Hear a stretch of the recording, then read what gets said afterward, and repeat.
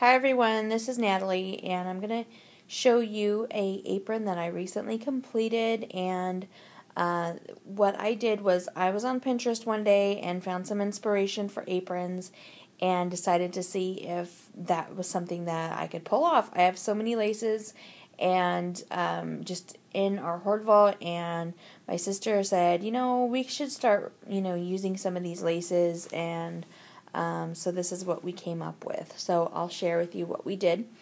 Um, I took muslin, and that's the base for this project. I took muslin, and it's really affordable, and um, I got it while it's on sale. So this is the bottom of the um, apron, and this is just the trim at the bottom. These two pieces that you're looking at, this one and this one, are from Valances. So if you ever see any Valances trims, you can certainly go and um, you know pick those up and you can just use them on your projects. So then the next piece of lace underneath or on top of that is some wide trim lace and I found this at a thrift store and I have boatloads of this. So um, and you can see that in another video that um, I did of a lace haul that um, we did, I believe it was last year, sometime last year. And then this is a trim from a dress that um, we took off, and it was layers and layers of these leaves, and it's just so pretty. But we took it off the dress and then decided to use it on our projects, and this is one of the ways that we used it on.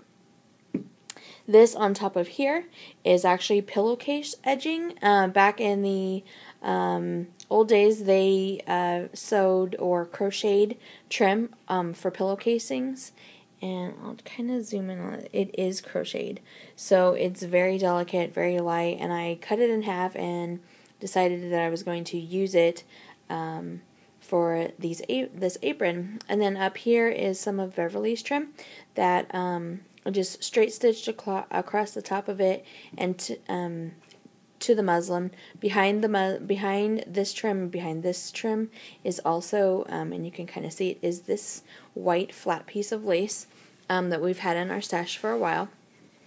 And so those are the layers of the lace, and that actually is sewn onto the muslin backing. So um, now the backing of the muslin is raw. I'm not going to leave it like that. Um, I will um, sew on a piece of muslin on the back of that to um, cover all the stitching, the hand stitching that I did. Um, this is the focal point of the apron. And what it is, is it consists of doilies and things like that. And I recently shared a video about um, doilies and linens and things. And this is why one of the reasons why like I'm so in love with doilies and I every time me and my sister go shopping my eye is just searching for doilies and so I love to use them, and this is one of the reasons why. So, um, the first thing that I sewed on was this um, cream colored uh, doily, and then on top of that, or ne- adjacent to that, is this one. And I forget, I think I got this from Matea. Um, and so I sewed those two on the back, um, and then on top of that, um, I did this one, which is a square piece, and um, these are actually, um, I think they were used as coasters because I did have one that is a um, has a circular stain on it. But if you look at it, and I'll try and get in here real close, it's got embroidery edges um, done to it, and it's really pretty. And I only stitched it around here and up there, so all the way across, or in this square shape. And I left this piece kind of frilly just to kind of give it some dimension and some flair. And then on top of that, I sewed this one. Now, I did share this in a, um, this is the piece that I did cut off of one of the doilies that I did share in a, um, in a recent video. And, um, it wasn't a triangle piece and this is the the triangle part of it. So it's this flower this doily and this one. Um, and I left it whole. I was going to cut them apart but then I was like no I'll just use it as one. So then on top of that um, I have this beaded trim that I also picked up. Um, we found this beaded trim it was a scrap piece um, from a thrift store and we paid three dollars for it. So we're just using these um, cutting it apart and using them on our projects. Now um, i did sew this. This is actually canvas. Um, if you go to aaron brothers um, they do have uh, canvas paper that you can print out um, use your printer to print out on and i just really loved the look of that. I did sew a piece of tea dyed stained lace, uh, eyelet lace around that, and then I did hand sew it to um, the muslin into the apron itself.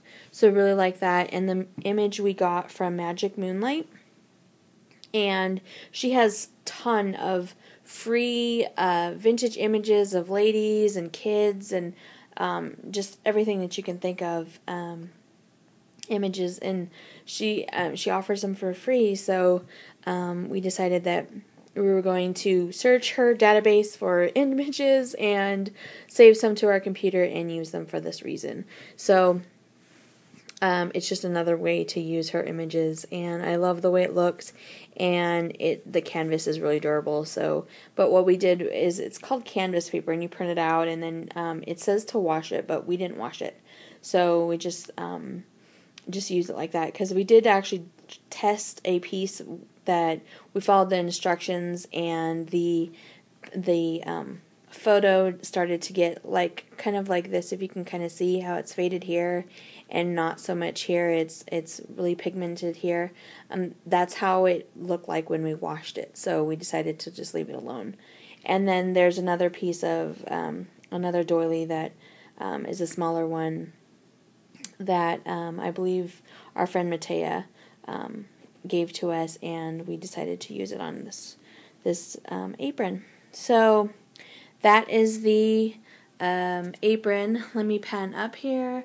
I will have pictures up on our blog at heirloomanthology.blogspot.com, and, and there's going to be probably a few um, postings of aprons because this is kind of like what we're into right now. And we do have another event coming up here soon. And uh, we will be having these um, at that event. So, thanks, guys, for watching. And uh, check out our blog at heirloomanthology.blogspot.com.